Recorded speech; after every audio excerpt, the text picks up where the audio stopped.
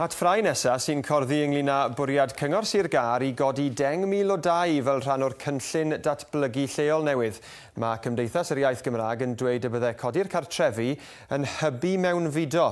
Ond y nod meddai'r Cyngor yw creu swyddi er mwyn cadw pobl ifanc yn y sir ac amddiffyn yr iaith. Mwy gan Aled Schofield. Ar ôl gyrfa lwyddiannus yn Llundain a Cherdydd, mae Angharad Haf Evans wedi medru dychwelyd i'w sir enedigol.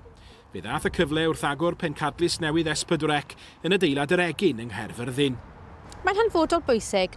Fi'n credu yn enwedig gyda uh, twf sydd o fewn yr economi a'r prisiau sydd yn, yn llefydd fel Llundain a'n ar bobl sy'n datblygu yng Nghyrdydd, mae hwn yn cael ei cyfle i babi aros yn agosach i'w teuluodd yn ei cynefin, ond hefyd i ddatblygu ar yr ochr broffesiynol hefyd. Denu mwy o bobl ifanc nôl i'r sir a chadw rhai yma yw un o brif amcanion cynllun datblygu lleol newydd Cyngor Sir Gar. Dyma'r fframwaith sy'n penderfynu sut y bydd y sir yn datblygu o nawr tan 2033. Mae llawer o'r twf sy'n cael ei ragweld yn seiliedig ar filoedd o swyddi fydd yn cael ei creu drwy'r fargen ddinesig i fai Abertawe. Mae'r awdurdod yn cynllunio ar gyfer twf o 9.4% ym oblogaeth y sir.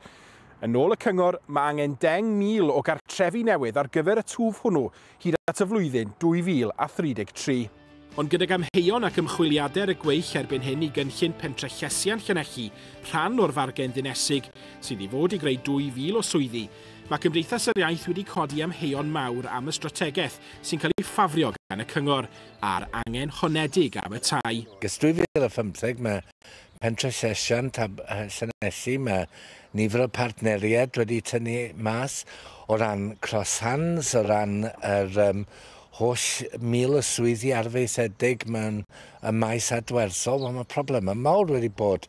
A felly, os na bydd y pethau yma'n mynd ymlaen, bydd dal gyda ni caniatad ar gyfer 10,000 y dau. Na, i bwy maen nhw fod i fynd?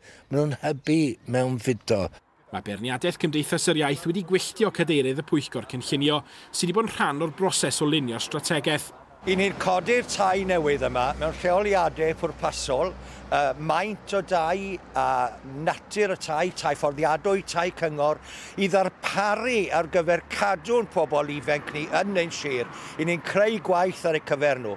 Un peth yw, crebran am uh, amddiffyn iaith. Peth arall yw gwneud rhywbeth i amddiffyn iaith trwy gadw ein pobl ifanc ni yn ein cymunedau Cymraeg ni, yn y sir hon, sydd â fwy o siaradwyr Cymraeg yr un siaradall yng Nghymru, a felly ni yn bwriadu chadwy.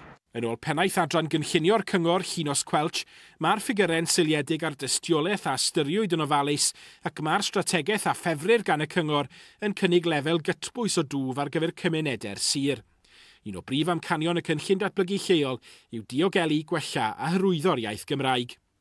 Mae Cymdeithas yr Iaith wedi galw am hirio'r broses ac wedi galw am asesiad llawn o effaith y cynllun datblygu lleol ar y Gymraeg, gyda'r cyfnod ymgynghori yn dod i ben ddydd Gwener.